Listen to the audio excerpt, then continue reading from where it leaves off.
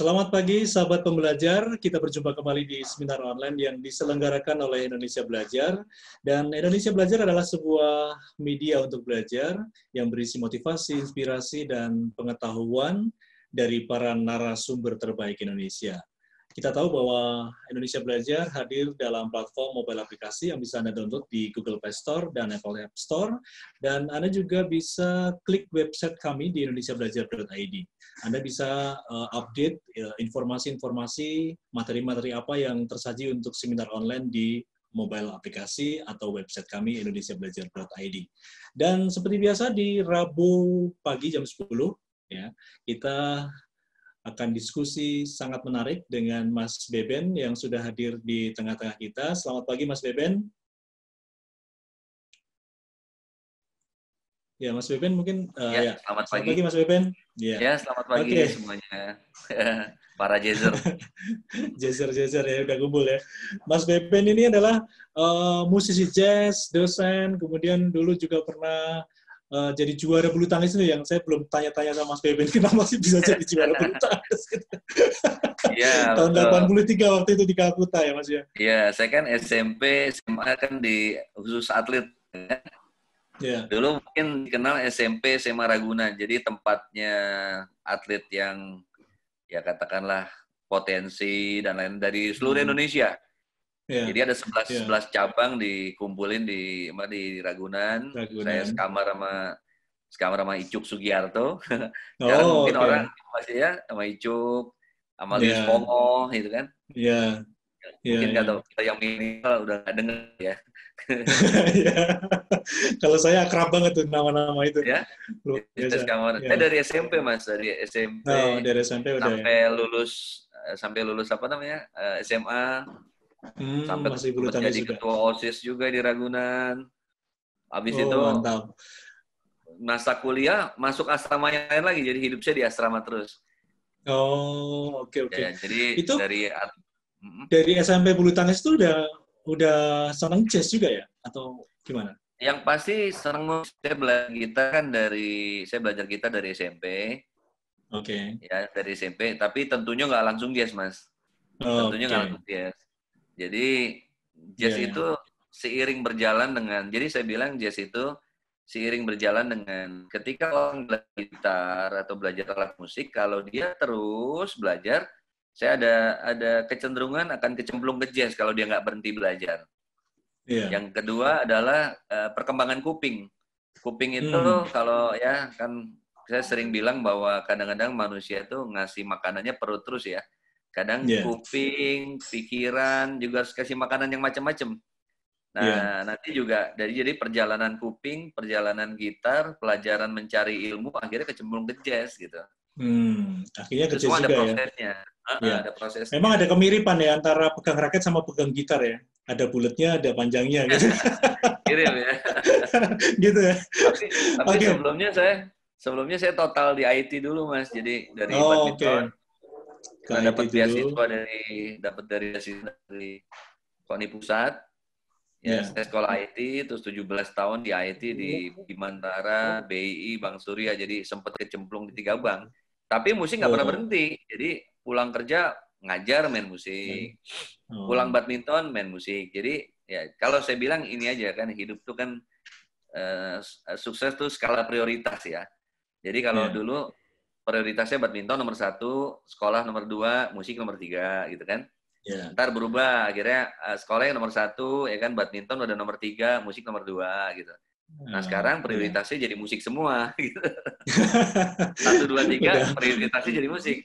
Udah yeah. mengerucut ya? Oke. Okay. Yeah, Oke okay, Mas Beben. Ya. Yeah. Oke. Okay. Oke, okay. uh, eh, nanti untuk ngobrol-ngobrol soal profil Mas Beben, wah ini panjang banget juga nih. Seperti seru, Mas Beben cerita soal jazz ya. Ntar bisa jadi namanya jadi jazz motivator, Master. iya, iya. Oke, okay. pagi hari ini kita akan bahas mengenai jazz for life, jazz philosophy and attitude ya. Jadi ya. ini semakin seru saja. Kita akan lebih berdalam lagi bagaimana itu apa itu musik jazz ya, filosofinya dan bagaimana attitude-nya. Oke, okay. uh, eh, untuk anda sahabat belajar yang ingin menanyakan seperti biasa, anda bisa tulis di chat atau langsung nanti bisa buka mic dan mungkin nanti juga ada nyanyi-nyanyi dikit ya. Oke, saya sapa dulu Mas Pipin Baktiar yang udah Nulis juga Mas Beben, Mas Di, Mas Dewa pagi, pagi. Pak Surface juga selamat pagi semuanya. Oke, semakin semangat ya sambil nunggu. Gimana nih Mas penjelasan mengenai Jazz for Life, Jazz Philosophy, dan Attitude ini Mas? Kita siap, mulai ya. Ya, siap. Oke, ini udah banyak peserta baru nih. Ada ya. Sani juga vokalis tuh, Jojo apa kabar? Mas Yosep ya. apa kabar? Oke, kita mulai. Jadi kita awal kan sudah belajar soal uh, history of jazz, ya dua sesi sampai dua sesi. Itu pun masih bisa berkembang terus, ya kan? Terus yang kemudian uh, yang ketiga kita bahas apa bedanya musik jazz dengan musik lain, ya kan? Jadi udah jazz history, bedanya musik dengan musik lain. Nah, di luar itu kita juga jazz jazz tuh banyak jazz tuh banyak sisi yang bisa digali, ya kan? Banyak bisa digali secara musiknya itu sendiri, Eh, kemudian secara filosofi, yang ketiga kita bisa juga uh, bahkan meningkat bahwa jazz adalah cara mendekati Tuhan. Wah, jazz for spiritual ya. Jadi ada tiga sesi itu. Jazz for jazz, jazz for life, dan jazz for spiritual ya.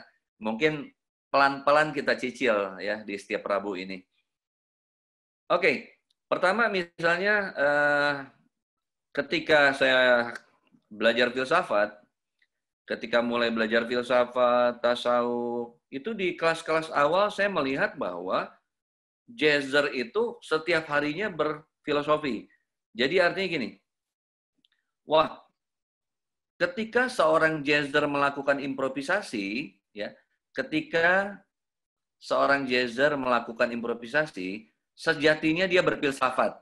Nah, gitu ya. Katakanlah misalnya gini, eh, Jojo, halo. Jojo bisa ya, dibuka halo, halo, tahunnya? Oke. Oke. Ya, Oke, silakan. Ya kan? Misalnya gini, saya minta tolong Jojo ya. Pagi-pagi udah saya kerjain. Jadi Jo, ya, Jojo ini mewakili yang lain ya. Tapi karena saya kenal sekali Jojo, jadi saya panggil Jojo dulu. Jadi Jo, mungkin banyak ya. tidak menyadari, banyak yang tidak menyadari ketika orang melakukan solo. Ketika orang melakukan solo, sejatinya dia berfilsafat. Ya. ya. Mungkin bahasa yang mudahnya dulu, dia membuat kalimat. Jadi kita lihat ya, filsafat itu kan mengajarkan ya, filsafat itu mengajarkan untuk satu, menghargai kata. Setiap kata yang keluar tidak boleh sembarangan sebenarnya. Karena setiap kata ya, dibilang fiksi dan fiktif aja pernah rame kan fiksi agama itu fiksi, agama itu fiktif, itu aja rame. Ya, mesti pelaku bisa jadi udah paham kenapa harus mengatakan fiksi dan fiktif. Nah, maksud saya, seorang jazzer tuh paham bedanya major 9 akan mengakibatkan apa, major 9 mengakibatkan apa. Terus ketika D minor 7, G7 ke C ditambah cis dim, ya, si pelaku udah tahu musisi akan terjadi apa. Jadi sejatinya ketika melakukan phrasing, ketika melakukan phrasing pada sketching, makin tinggi ilmunya, ya, makin tinggi ilmunya, ya, makin matang manusianya, dia tidak akan mengatakan sesuatu sembarangan karena setiap kata akan berdampak, ya. Nah, kadang orang memang ya spontan melakukan improvisasi. Keluar begitu aja. Tapi lama-lama ketika ingin mendapatkan pricing yang lebih bagus, dia mulai harus berpikir, nggak bisa sembarangan mengeluarkan not, tetapi juga nggak salah-salah. Dia artinya gini, itu nanti akan mencapai suatu titik dia di mana dia bisa berpikir cepat, mengeluarkan pricing tapi berkualitas. Dan saya suka ingatkan kepada para musisi bahwa ketika dia melakukan phrasing atau dia berkata sesuatu, ya kan? Kalau bisa jangan cuma sekedar not yang keluar, tapi di balik not itu dia punya visual. Misalnya gini, ketika Jojo sketching, oke, okay, Jojo coba sketching bebas apa aja. Sekarang lakukan sketching. Misalnya saya kasih saya kasih chord di C, Jo. Ya, bayangkan aja, bayangkan misalnya ya. ini uh, blues ya di C ya. Ya.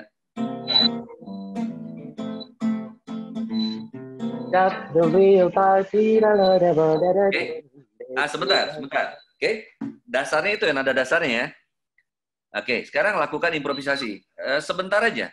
Uh, satu kalimat atau dua kalimat. Ya.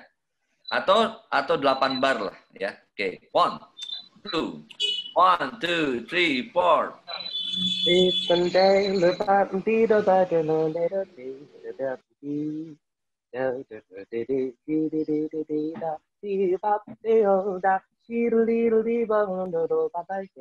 Oke, ketika Jojo melakukan tadi, itu sebenarnya membuat kalimat mengatakan sesuatu, tapi apa yang Jojo bayangkan barusan?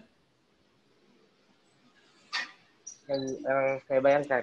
Nah, atau gini. sedang membuat kalimat. Oke. Tadi kan berfokus pada hanya membuat kalimat. Sekarang bikin kalimat lagi, tapi bayangkan misalnya Jojo kesel akan sesuatu. Oke? Okay? Ya, ya. kalimat lagi, tapi punya visual, tapi nggak usah nggak usah ngomong kesel sama siapa ya. Oh. jadi jadi bayangkan kesel sama sesuatu, oke? Okay? Ya. Ya, lakukan lagi, lakukan lagi.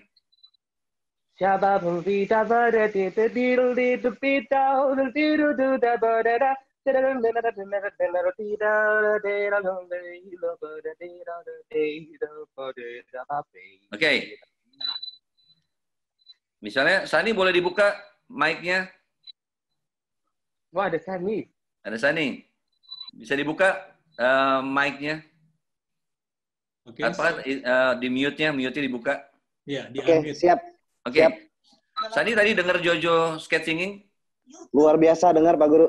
Oke, sekarang bukan luar biasa yang saya tanya, karena Jojo, memang, karena Jojo, karena Jojo memang luar biasa. Sekarang yang saya tanya, kamu bisa merasakan kekesalan dia nggak? Jujur, jujur. Uh, mungkin uh, de, apa per, persepsinya beda kali ya sama saya ya. Ya nggak apa-apa. Tapi arti gini, itu tadi Jojo kesel kayak gitu. Oke, uh. Jojo ulang lagi. Mana Jojo? Hadir. Nah sekarang kamu skate, tapi bayangkan sekarang kamu habis dapat bonus. Wih Dapat uang banyak, misalnya. Boleh? Ya, boleh. Lakukan. Bayangkan kamu dapat sesuatu, mobil baru, tiba-tiba Mas Dewa kasih, dikirim. Oke. Okay. One. Shall we da ba da ba da ba da da da da ba da da da da da da da da da be ba da da ba da da da ba da da da da ba da da da da da ba da da da da da Oke. Nah, sekarang ya, Sani ada bedanya nggak yes. yang tadi dengan yang barusan? Ada, ada bedanya. Ya. Nah, jadi maksudnya gini. Maksudnya gini, pada saat orang melakukan skate singing atau melakukan melodi pada gitar atau pada piano atau pada saxophone, banyak musisi lupa dia hanya fokus pada not. Karena not hanyalah not sebenarnya. Tapi jiwa manusia yang menghiasinya. Nah, jiwa manusia ini menghiasinya dengan apa? Ya kan? Pertama bisa menghiasinya dengan perjalanan hidupnya, dengan penderitaan ya atau dengan kebahagiaan atau dengan pengalaman pagi barusan atau siang itu penting. Karena not itu jadi bahasanya gini kalau si penulis hidupkan teks. Karena kan kata cuma kata kenapa kita suatu saat kita bisa membaca sebuah novel terasa hidup? Siapa yang menghidupkan sebenarnya? Ya si pembaca dengan si penulis ya kan Nah sekarang siapa yang menghidupkan sketch singing tadi? Jojo dengan pengalamannya. Jojo harus punya visual.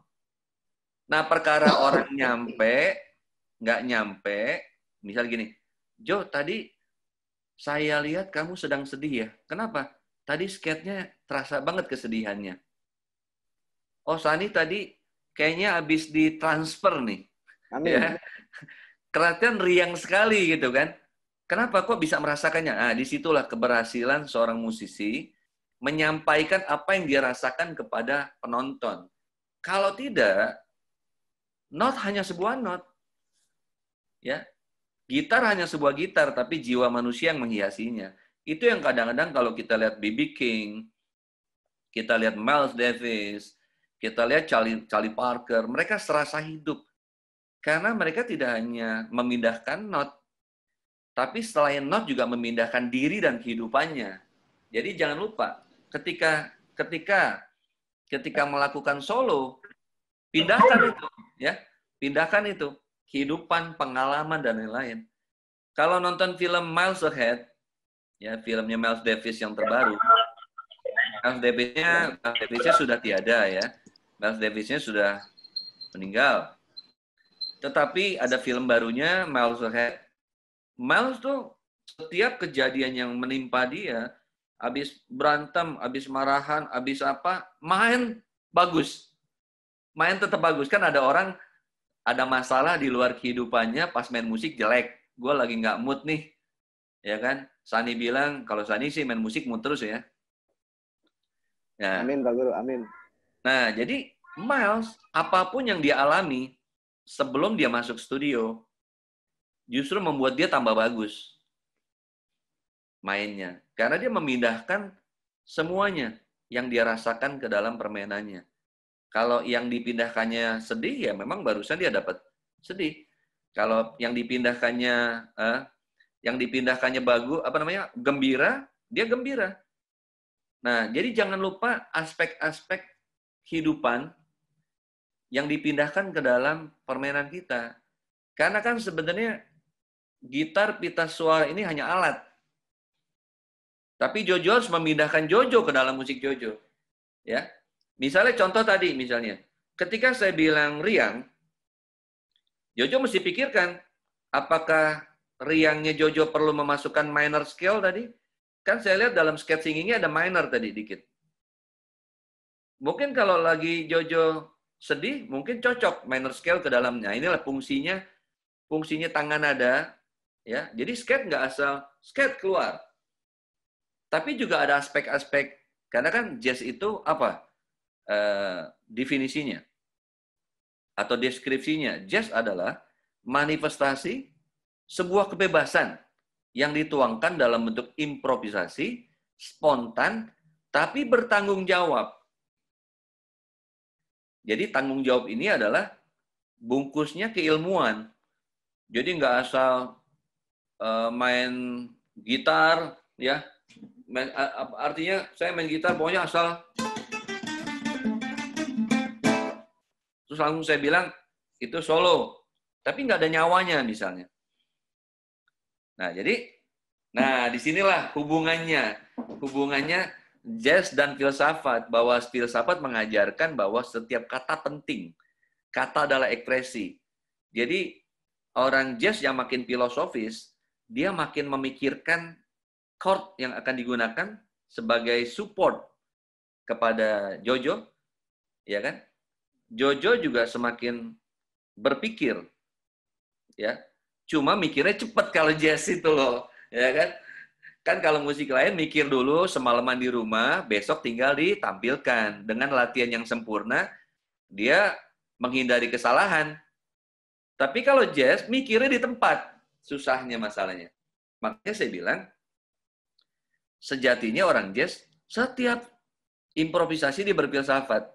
Ya, maknanya artinya improvisasinya bagus, berkualitas, notnya pilihan, semuanya oke, okay, tetapi dilakukannya spontan gitu kan jadi itu memang beratnya jazz jadi memang orang jazz memang udah siap ya ibaratnya ya yang dagang ketemu klien apa aja siap menangani ya kan ya kan dalam setiap keadaan wabah pandemi nggak pandemi segala macam orang jazz harus siap kreatif ya ngegroove dengan situasi terus kemudian sambil sekaligus insya Allah mencari jalan keluarnya, gitu kan.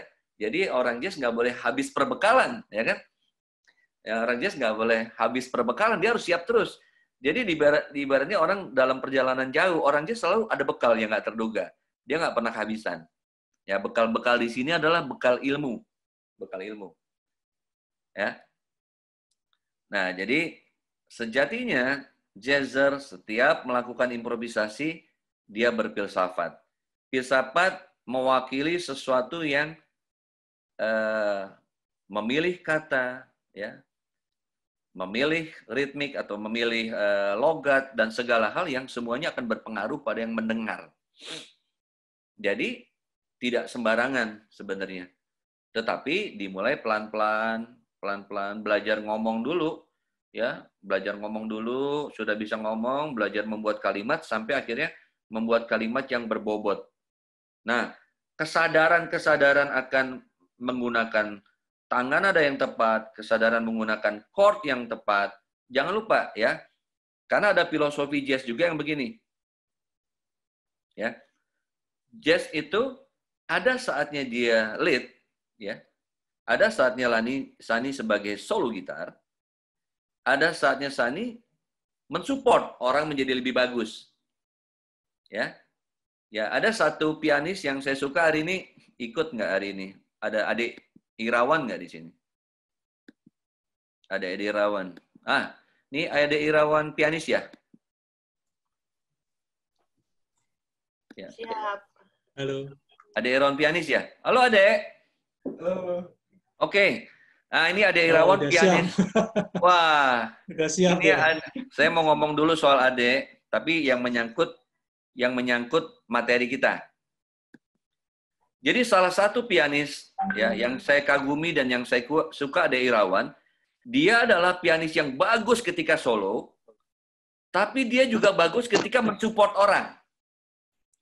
Jadi pengalaman saya, kalau saya main sama adik rasanya saya jadi lebih jago gitu. Karena iya. adik membuat adik ini mensupport saya, ya. Adik ini mensupport saya, ya, untuk saya mendapatkan peluang-peluang ya, meletakkan not yang enak. Karena dia support. Jadi jangan lupa, jazz bukan orang yang bagus ketika dia main solo aja. Tapi dia juga harus bagus ketika mensupport orang.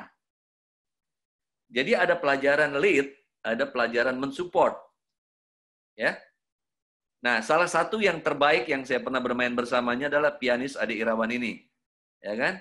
Yang sudah bermain dengan para musisi dunia di, di Chicago dan macam-macam. Boleh Mas Dewa, saya pengen minta adik main sebentar? Boleh, boleh Mas. Halo adik, standby? Halo. Oke, adik mainkan sesuatu apa aja bebas, terserah adik yang mood pagi ini yang menyenangkan.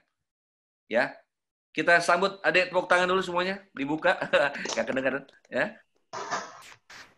Oke, silakan adik mainkan sebuah nomor bagi buat kami pagi ini. Nggak tahu nih bisa bisa kedengaran jelas apa enggak nih? Dengar deh, saya dengar jelas. Nggak apa-apa, adek main aja pokoknya. Kami menikmatinya.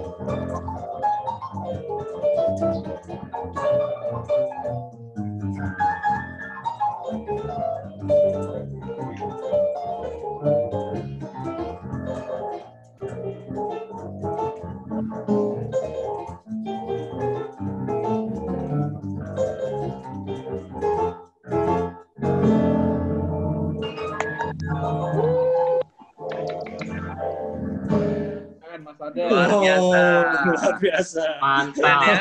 uh, terima kasih Mas Ade. Nah, Keren Mas Ade. Ade harus sering ikut nih. Minggu lalu dia ikut Mas sebenarnya Mas. Iya, iya. Cuma waktu kita terbatas kemarin ya. Terima kasih right, Ade right. ya. Tapi permainan Mas Ade ini kayak apa barusan ditransfer juga nih Mas. Ya?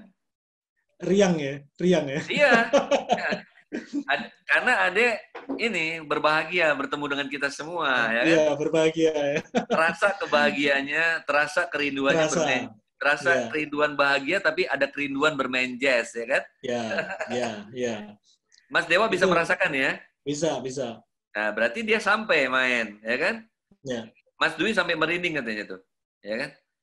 Bikin merinding, ya, tapi ketawa ya, merinding tapi ketawa artinya merinding yang bahagia ya kan? Iya. ya. Itu filosofi jazz maksudnya. Ya, jadi singkat dulu ya. Kalau kalau misalnya uh, apa ya, Mas bisa lihat buku saya? Bisa Mas. Akan nah, ada jazz and ya. the jazz and the philosophy of art, of ya art. kan? Ada ada apa? Soul of music, ya kan? Ya kan? Hmm. Ada filosofi of music. Jadi maksudnya kalau ini dibahas semua sampai puasa bulan depan, Mas. okay, okay. Jadi maksudnya saya uh, pertemuan pagi ini hanya menyadarkan bahwa sejatinya ketika jazzer melakukan solo, ya melakukan apa pun itu yang dilakukan jazz, sejatinya dia berfilosofi. Makanya filsafat dengan jazz cocok banget. Yang nggak harus kuliah yeah. filsafat, Mas. kan? Yeah. Kuliah, kuliahnya sangat absurd. Yang penting punya kesadaran berfilosofi. Yeah punya kesadaran Mas, berfilosofi. Okay. Mas Beben, mungkin konfirmasi dulu ke Mas Ade apa yang tadi saat main dirasakan ya, atau yang ingin disampaikan Mas Ade. Oke, okay, ada ingin ada ingin menyampaikan uh, misalnya pertama kamu tadi memainkan apa, terus kemudian apa yang kamu ingin tuangkan dalam permainan tadi, terserah Ade. Ya, silakan Dek. Ingin berkata apa, Mas Ade? tadi, uh, tadi kalau salah uh, lagu ini judulnya Judulnya apa? Uh, the Gold Train, ya betul ya? Nah, terus Ade tadi main dengan perasaan apa tuh? Senang, gembira?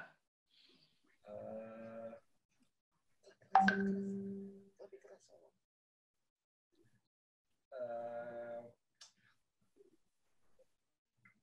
senang aja sih. Senang, aja ya. Oke, okay. confirm ya. Oke ya. Oke, terima kasih Mas Ade. Dengan kemeja yang cerah ya. ya. ya. Salam mama, okay, mama dan papanya ya. Iya, iya. Ya salam keluarga Jess tuh. Ya, ya. siap. Oke. Okay. Nah jadi saya cuma sedikit untuk uh, agar pelaku menyadar apa namanya um, membangkitkan kesadaran untuk uh, berfilosofis Nah, dengan dengan filosofis tadi, setiap kata, setiap chord, dia akan punya kesadaran nggak sembarangan. Tapi dilakukannya dengan cepat. Nah, ini susahnya. Jadi, seperti gini, membuat kalimat indah sekaligus berkualitas dan punya maksud dengan tujuan tertentu, tapi dilakukannya dengan spontan, itu jazz. Ya, nanti makin dia mulia, makin dia bijaksana, makin makin dia matang secara personal maupun secara teknis akan membuat dia makin punya muatan filosofis. Tapi tetap bisa diterima. Kan kadang-kadang sesuatu yang filosofis juga terasa ada yang berat ya kan. Nah, tetapi ya saya pernah bilang sama Bro Pinpin ya kan, Bro Pinpin ada di sini ya. Saya sebut makna kiai, ya, makna kiai. Oh, kiai itu oh kiai apa ya orang yang sorban berjenggot. Enggak, kiai itu orang yang sesuatu yang ribet, entrepreneur yang kesannya apa ya entrepreneur, tapi Bro Pinpin bisa menyampaikannya dengan mudah diterima dan mengasihkan gitu loh. Demikian juga dengan jazz. Jazz yang kayaknya kompleks, ribet, rumit, oh enggak kok. Ya, cuma hanya membuat kalimat, oh cuma masalah ritmik, swing feel gitu loh. Ya. Jadi akan mudah diterima ya kan. Oke, jadi sekali lagi kita ada kesadaran filosofis dalam melakukan solo, ya, melakukan support kepada orang lain dan lain-lain. Oke, saya masuk ke sesi dua ya mas. Ya mas. Ya. Sesi dua apa yang dimaksud dengan ini bahasa saya ya istilah saya aja. Saya suka membuat istilah-istilah sendiri. Jadi saya sebutnya jazz attitude hmm. atau kebiasaan-kebiasaan orang jazz ya kebiasaan-kebiasaan orang jazz ya yang berkaitan dengan budaya jazz yang kita harus paham. Misalnya di sini kan kita sudah empat sesi, alangkah baiknya kita punya tahu etika jazz, misalnya saat menonton, misalnya. Ya ini bagian dari attitude ya, karena musik seni juga mengajarkan soal etika. Orang yang masuk ke suatu lingkungan tertentu, ya orang yang satu, tapi kemudian eh, apa istilahnya salah berlaku atau salah etikanya cenderung akan dilihatin orang, ya kan? Ada lingkungan-lingkungan tertentu yang kita harus pas etikanya. Misalnya kan saya pernah bilang bahwa kalau masuk nonton klasik, ya begitu duduk pemain baru keren dua phrasing atau dua bar langsung tepuk tangan. Ya kan? Di tengah tepuk tangan. Jadi sepanjang lagu tepuk tangan karena memang kagum.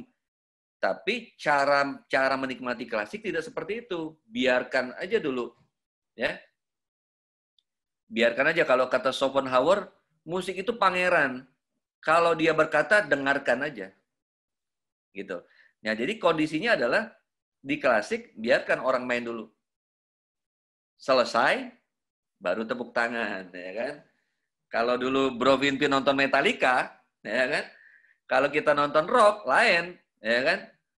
Penyanyinya, ya, Lars Ulrich main drum, ya kan? Dave Mustaine, eh, no, Dave Mustaine sekarang Megadeth ya. Nah, mereka main sepanjang lagu loncat-loncat nggak apa-apa kalau kalau kalau rock loncat-loncat ya kan teriak-teriak. Kalau rock nggak apa-apa ya. Justru kalau nonton rock itu dia Harus ya. kalau nonton rocknya meneng wae gitu, ah, jiwanya nggak dapet ya kan. Nah, tapi kalau jazz, kapan tepuk tangannya jazz? Ya. Kalau tepuk tangannya adalah ketika setiap orang melakukan improvisasi, Mas, setiap musisi, ya. Jadi saya mau mengulang anatomi anatomi sebuah lagu jazz. Jadi jazz pertama kali dimainkan tema, ya, mainkan tema, ya. Habis tema, ya, kemudian solo. Misalnya, adek masih standby, adek? Masih. Oke, okay. okay. iya, adek mainkan Take the A Train dengan temanya. Habis itu solo sebentar, ya. Habis itu tema lagi, oke? Okay? Silakan. Jadi tema solo satu chorus tema. Ya kita dengarkan adik main Take the A Train, lagu dari era swing.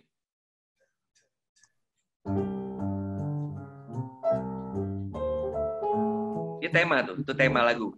Terus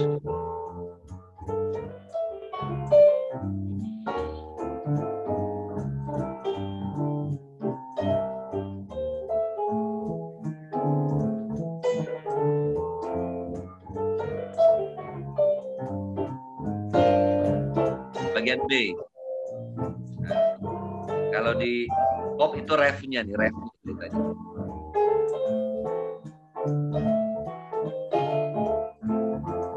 A3, bagian A3.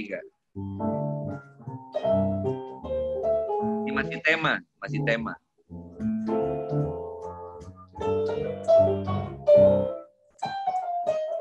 Nah, solo, sekarang ada solo. Ada solo sekarang nih.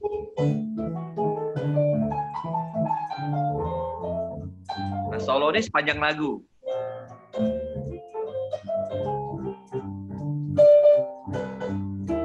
Jojo, Jojo standby Jojo. Terus. Jojo mic dibuka standby.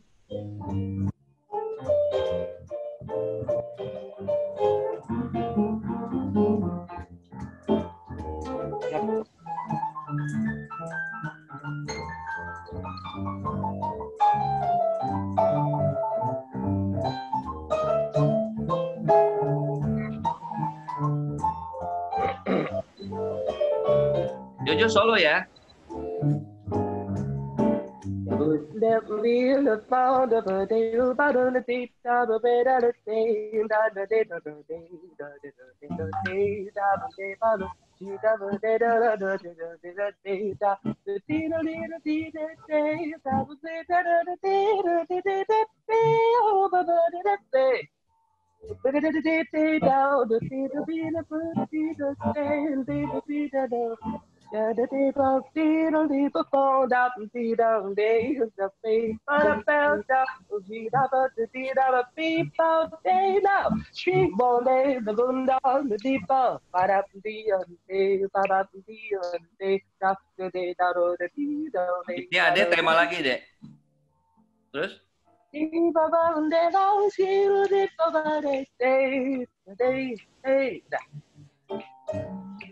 Nah, tema lagi ya, dia tema lagi.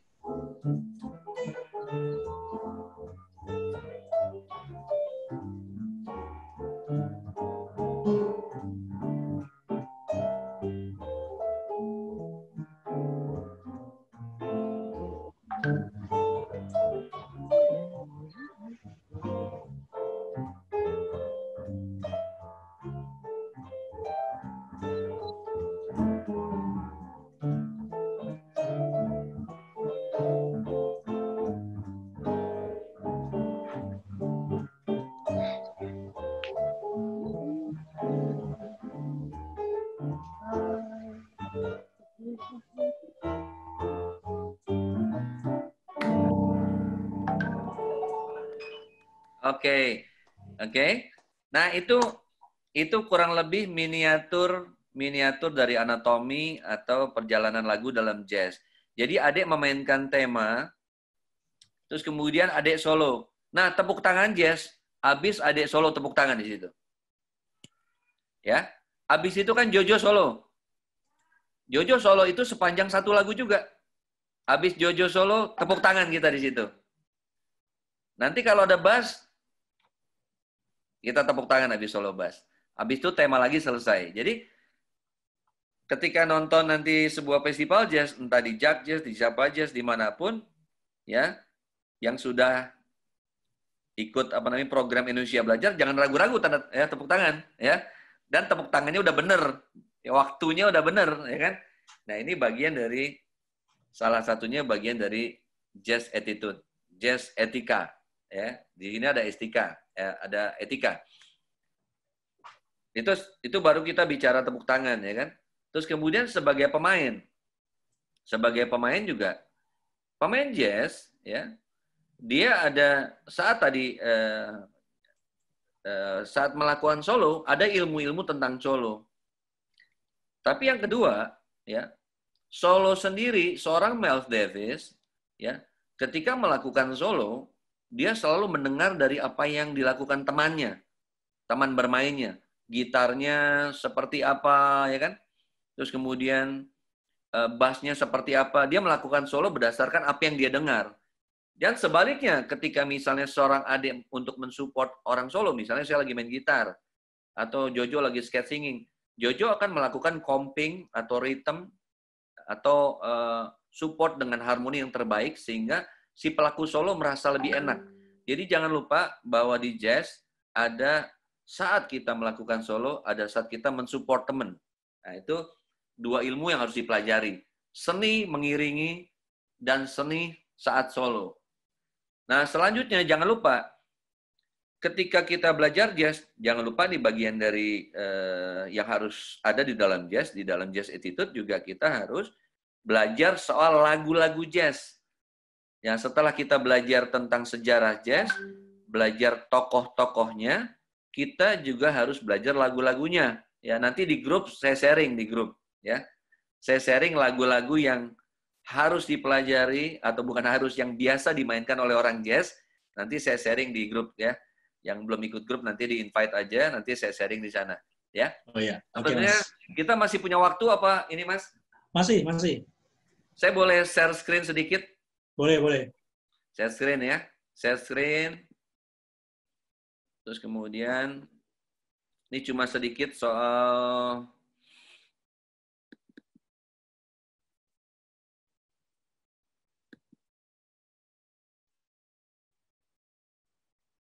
sedikit saya akan jelaskan sedikit. Ini juga bisa panjang nih, bisa jadi materi seminar sendiri nanti.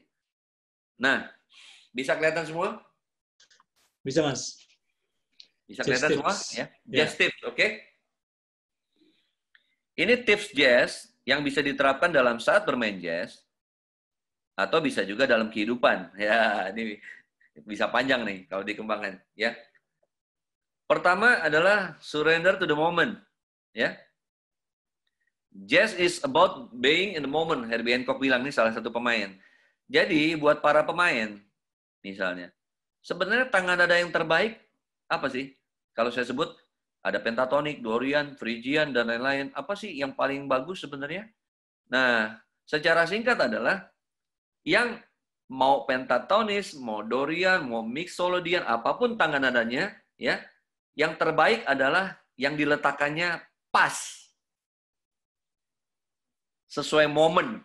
Bisa jadi suatu saat not A, not B, atau pentatonik, atau dorian, atau mixolydian. Nah, untuk mengetahui not yang pas, kuncinya adalah bermain sambil nyimak, bermain sambil dengar.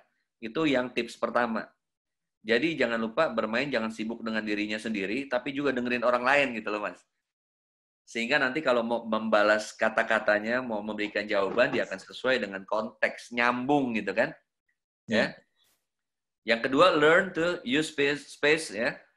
Konteksnya adalah jangan lupa ketika melakukan solo ada uh, terus melakukan solo, skate singing Jojo, jangan lupa jangan ngomong terus, gunain space. Artinya kalau di sini adalah ya ngomong kan nggak Jo, kamu mau ke mana Jo? Ntar kita pergi ke pasar, nggak ada berhentinya gitu loh mas, ya kan? Nah, Miles, yeah, yeah. Davis, ya, Miles Davis salah satu orang yang yang bagus menggunakan space ini. Jangan lupa, ya, diam juga adalah keindahan. Yeah. Ya, jadi orang yang jago ngomong juga bukan berarti ngomong terus. Dia tahu kapan harus diam, ya kan? Oke? Okay?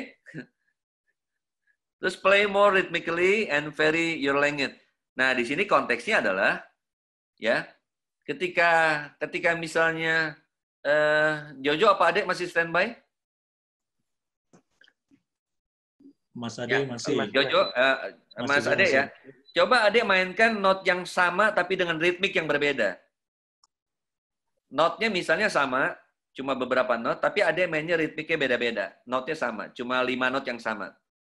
Ade sudah paham? Kalau boleh, silakan.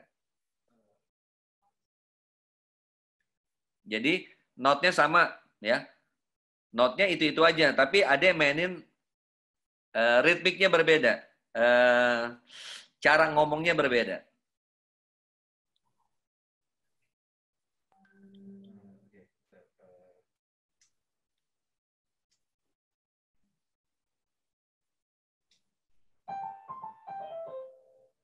Nah, misalnya itu, dia mainkan beda-beda caranya. Ya. Ya. Lagi, Dek. Dua kali lagi.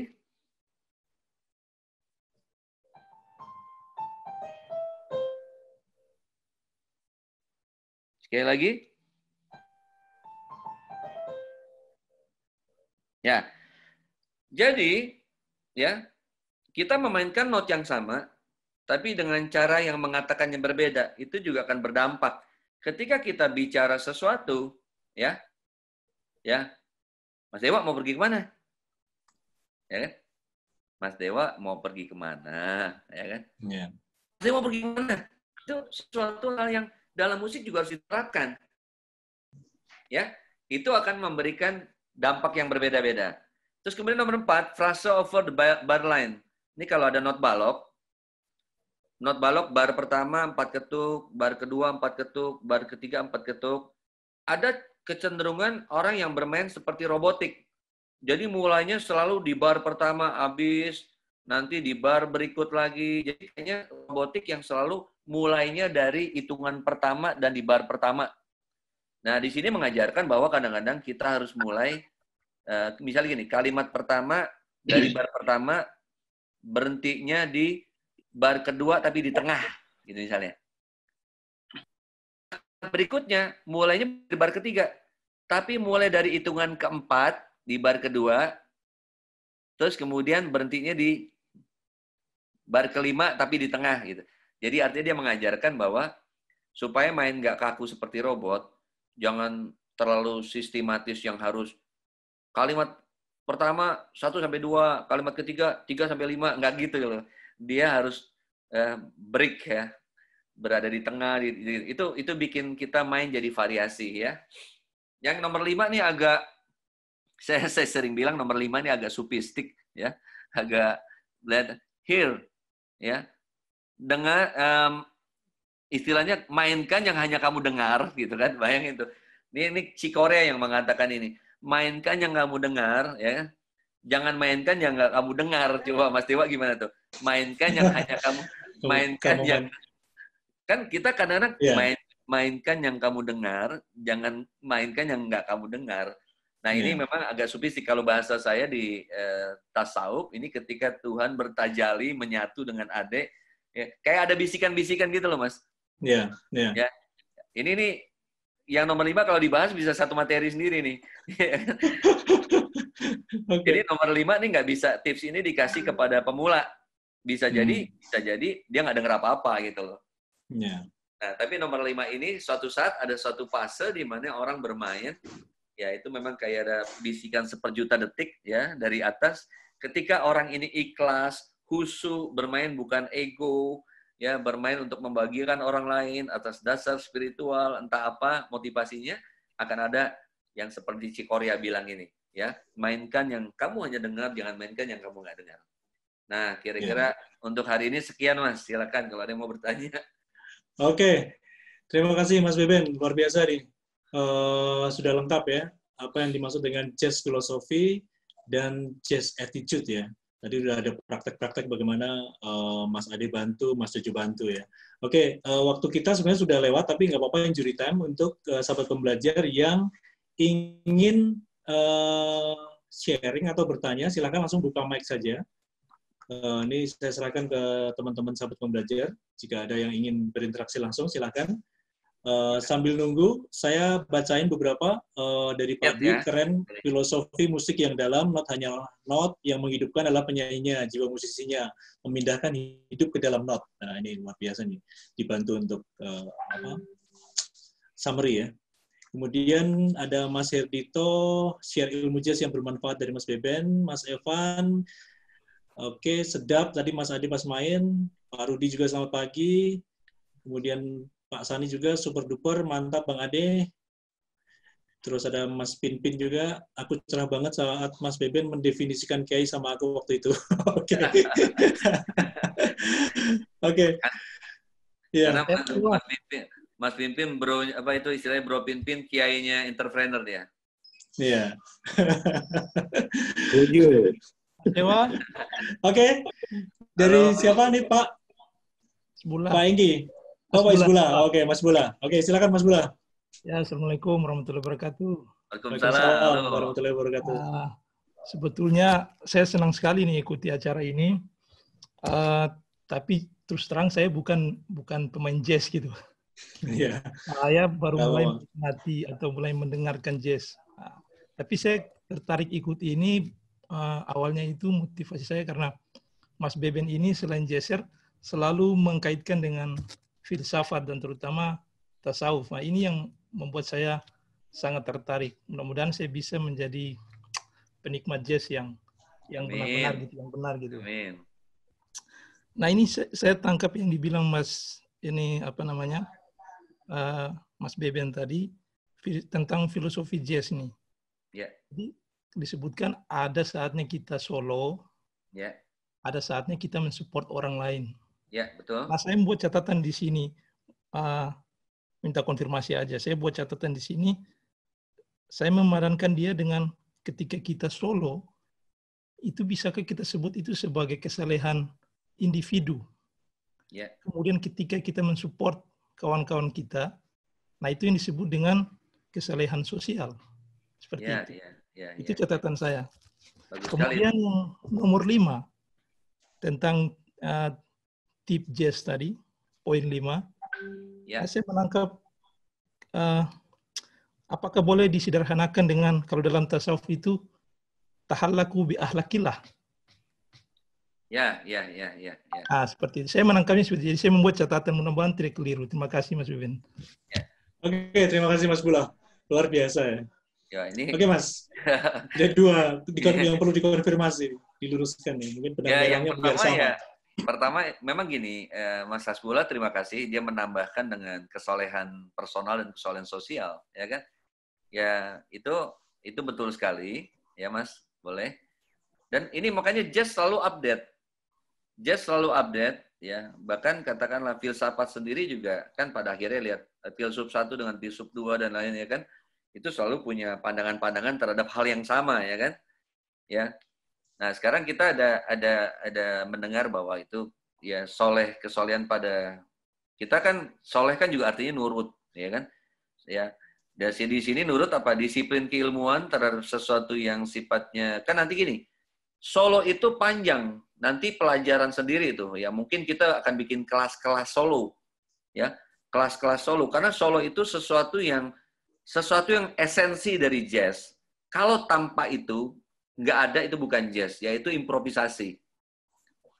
Ya, jadi yang dimaksud kesolehan pribadi ini nanti nurut terhadap hukum, hukum-hukum yang berlaku pada hukum improvisasi. Ini nanti improvisasi ini punya perjalanan panjang, kaidah-kaidah solo. Nanti yang kedua adalah kaidah-kaidah sosial. Artinya gini, seseorang yang berhasil dalam kehidupannya, apa pun bidangnya, adalah orang yang berhasil nge-groove. Bahasanya. Nah, nge-groove ini apa maksudnya? Kalau dalam musik, orang sering bilang bahwa nge-groove ini irama, supaya mainnya goyang. Enggak, nge-groove itu kemampuan musisi, kemampuan musisi, ya, ya, uh, bermain sesuai dengan kebutuhan komposisi. Tidak lebih, tidak kurang. Makanya ada seorang senior bilang, di musik itu yang susah main pas, ya. Mas Hengki, Romo Hengki, ya, bermain pas, ya kan? Bermain pas itu paling susah, nggak lebih, nggak kurang. Nah, ini dalam kehidupan sehari-hari nge-groove. Kadang dia harus mengendalikan diri bahwa dia tahu sesuatu, tapi nggak dikeluarin semua ilmunya. Ya, karena mungkin kalau dikeluarin sesuatu, dia akan menjatuhkan orang lain. Saat itu mungkin nggak pas. Ya, Suatu saat dia terpaksa harus ngomong untuk memperbaiki situasi. Nah, sikap sifat yang ngegrup ini kesalahan sosial. Ini panjang urusannya nih. Ya, saya pakai bahasanya bahasanya Mas Asbullah. Ya, bicara soal soleh. Soleh soal disiplin nurut terhadap kaidah-kaidah pelajaran-pelajaran solo, individual, dan pelajaran-pelajaran sosial kalau dalam kehidupan, pelajaran soal ngeband, ngegroove di dalam musik. Ya. Yang terakhir kalau Mas uh, saya bisa lengkapi ketika orang yang saleh ingin makin mendekati Tuhan, pertama ya kan? Pertama berikan cahaya diri kita dengan syariah. Agamanya apa pun punya syariah. Sesuatu yang rutin dilakukan. Sholat, puasa, ya. Itu membuat kita bersinar, keluar atmosfernya. Ya mungkin para nabi akan tahu atmosfer itu. Yang kedua, hiasi diri dengan sesuatu yang tinggalkan perbuatan yang tercela dan maksiat. Yang ketiga, hiasi diri kita dengan perbuatan-perbuatan terpuji. Sampai keempat, kita fana dalam zat, fana dalam sifat, dalam nama. Sehingga terjadilah penyatuan. Kita tidak akan berkata semata Tuhan yang berkata. Kita tidak akan berbuat semata Tuhan yang berbuat. Begitulah sejatinya musisi. Tidak akan keluar satu not pun kecuali Tuhan yang mengendaki dia keluar. Hmm. Itu yang nomor lima sebenarnya. Fana dalam zat. Cuma kita fana dalam ya, dalam zat Tuhan lewat not gitu loh. Iya, iya. iya. Kira-kira gitu ya, singkatnya yeah. Mas. Oke, okay, Mas Beben. Terima kasih Mas Bulo. Jadi Semoga dalam ya. begini ya. Dari dalam ya. ini udah spiritual ya. Ini tidak iya. bermaksud yeah. agamanya apa. Ini spiritual yeah. menyangkut banyak hal ya. Ya, yeah. oke. Okay. Mas Beben, ini ada Pak Bambang Budianto. Pertanyaan buat Pak Beben, kapan anak mulai belajar jazz, bisa belajar jazz secara paralel dengan klasik, dalam hal ini instrumen piano? Terima kasih pencerahannya hari ini. Salam. Pak Bambang ya. Selamat pagi Mas Bambang. Jadi memang eh, ini sangat relatif tergantung potensi manusianya. Ya kan? Tetapi kalau ketika belajar jazz, yang paling ideal adalah seperti waktu pertemuan pertama, pertama saya pernah katakan bahwa sebenarnya kalau bagi orang jazz, apa pun yang kalian lakukan sebelum jazz itu adalah jazz. Wah, gitu kan. Ada orang belajar klasik dulu, belajar rock dulu, belajar blues dulu, itu akan nggak ada yang kebuang. Ketika belajar jazz itu nggak ada yang kebuang. Itu itu istilahnya sejarah personal yang akan berpengaruh pada karakter jazznya nanti. Ya, karena jazz adalah manusia yang paling menjadikan dirinya diri sendiri. Orang yang main blues dengan apa sorry, orang yang main jazz dengan background uh, blues, misalnya lahirlah Larry Carlton misalnya, ya kan akan lahirlah Robin Port gitu. Itu punya background blues. Ya, terus kemudian ada yang punya background rock, ada Alex Konik atau ada Guthrie Govan. Itu punya background rock. Bahkan boleh dibilang uh, Rizky Cousin ketika bermain jazz fusion karena aslinya dari rock, rocknya nggak kebuang. Jadi biarkanlah orang ya menjadi dirinya dengan backgroundnya masing-masing. Nah, cuma memang ketika masuk ke dalam ilmu jazz yang real, ya anak ini lagi belajar klasik bagus banget menurut saya. Menurut saya orang yang belajar jazz punya background klasik sangat bagus. Misalnya kita kasih contoh Herbie Hancock ya terus kemudian ada uh, ada banyak termasuk senior kita Bubi Chen Om Bubi Chen itu semua punya background klasik Nah, klasik bagus. Pertama dia udah terbiasa membaca, ya kan? Kedua, penjariannya sudah bagus.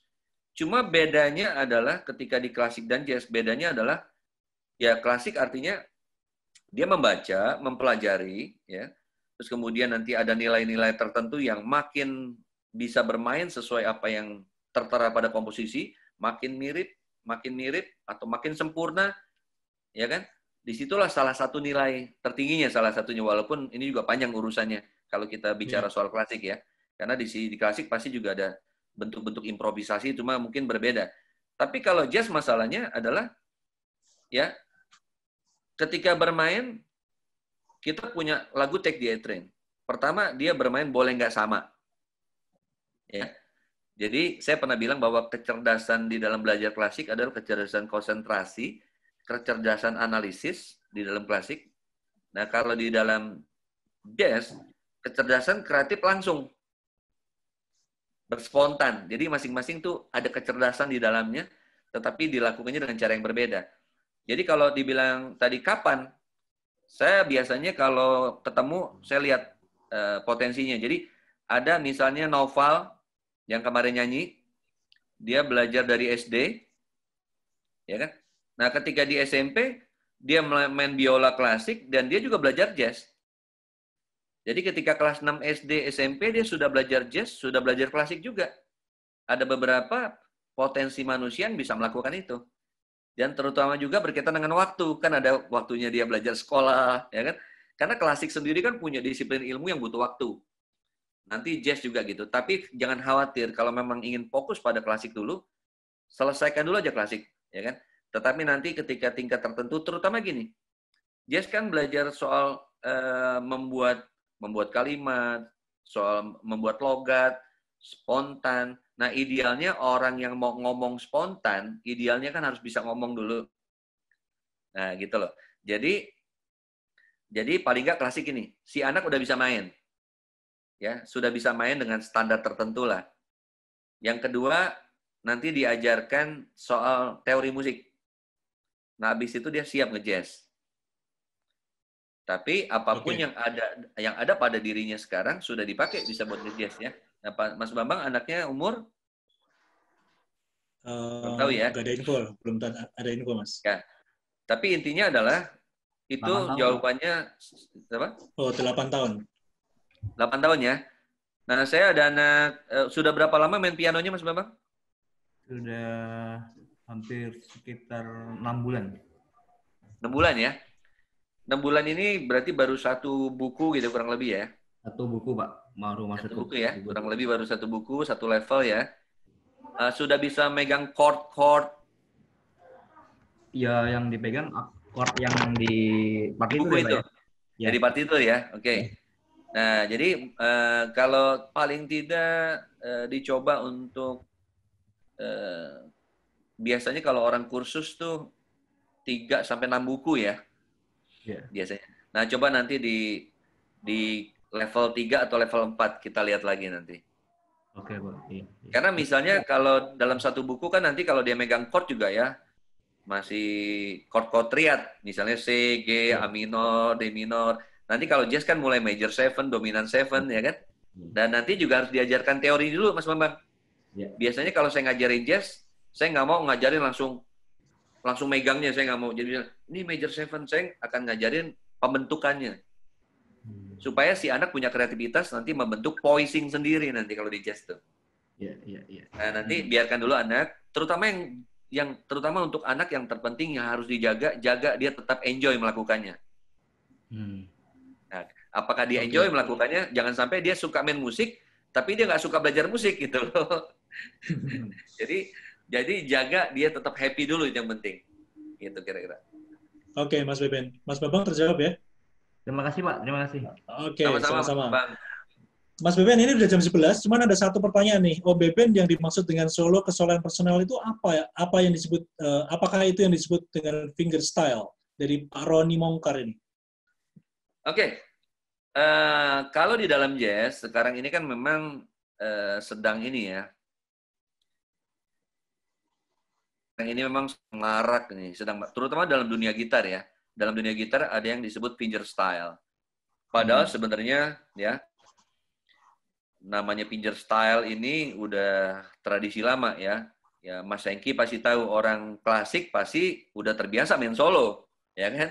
Dia sebenarnya ini pinjer style itu biasanya uh, istilah yang ada di uh, di blues atau uh, lebih tepatnya di uh, folk ya. Ketika orang ketika orang kan gini, yang namanya pinjer style itu kan unsur musik kan harmoni, melodi, ritmik harmoni, melodi, ritmik. Nah, ketika orang bermain pinjet style atau bermain solo, harmoni, melodi, ritmik dilakukan oleh satu orang. Jadi dia bermain solo, ya kan? Bermain solo semuanya bass, melodi, semua dia yang pegang main solo. Tapi yang saya maksud di solo di sini bukan maknanya bukan maknanya ke figure style, ya kan? Tapi lebih kepada memang bermain solo melodi, ya, bermain solo melodi di, di, di jazz, di jazz di jazz tuh ada waktu-waktu setiap pemain pasti akan melakukan solo. Jadi ketik salah satu tantangannya bermain jazz adalah mau basis, mau drum, mau gitaris, saxophone, dia ada waktu dan tempat uh, ah, seakan-akan seperti wajib ya, seakan-akan kalau nggak bisa jangan dulu, tapi artinya kalau udah bisa itu seperti wajib untuk melakukan solo ya. Di sini Mas Roni maksudnya adalah solo melodi yang tadi dilakukan oleh sketch singing oleh Jojo, walaupun solo tadi juga bisa dilakukan dengan pinjol style, ya kan? Bisa dilakukan dengan pinjol style, tapi yang dimaksud di sini adalah bermain solo improvisasi, ya, gitu maksudnya. Tapi bukan selalu maknanya ke pinjol style. Ya. Oke, Mas Beben, waktu kita sudah habis ini Mas Beben. Terima ya? kasih Ya, terima ya, kasih untuk ya. teman-teman ya. yang sudah uh, tulis chat. Yang belum saya mention itu ada Mas Firman Cecak. Senang banget bisa belajar ulang sekolah kuping agar lebih peka, lebih dalam hal, lebih dalam mengenal hati juga. Ada Mas Rey juga. Dan mungkin saya buka satu-satu nih kameranya. Kita sapa dulu. Uh, ada Mas Surface, ada Pak Engki. Banyak ya. Oke, Mas Bimen, terima kasih waktunya. Sama-sama, terima kasih semuanya. Filosofi dan attitude jazz, ya. Dan untuk sahabat pembelajar, terima kasih atas waktunya. Semoga bermanfaat. Kita buka kamera, mungkin teman-teman di belakang layar akan melakukan foto bersama. Silakan, uh, Jessica. Ya, terima silakan kasih, Bapak Mas Roni. Buka kamera. Bisa sekalian buka mic untuk say thanks buat Mas Beben juga bisa. Terima, kasih Pak Beben. Terima kasih Pak Beben. Terima kasih Pak Guru. Terima kasih Mas Beben. Terima kasih banyak. Saya akan foto sekitar dua kali. Mohon maaf kalau ada kurang-kurang ya. Oke. Okay. Mantap Mas Beben. Ya, terima kasih Bro Pinpin. Oke Bapak Ibu, senyum. Satu, dua, tiga. Oke, satu kali lagi ya Bapak Ibu ya. Kameranya yang uh, belum dibuka boleh dibuka dulu. Satu, dua, tiga. Oke, Bapak Ibu terima kasih. Thank you. Oke, terima kasih Mas Beben sekali lagi. Terima kasih sahabat pembelajar semuanya. Sampai terima kasih. Terima kasih. Terima kasih. Ya. Sampai jumpa.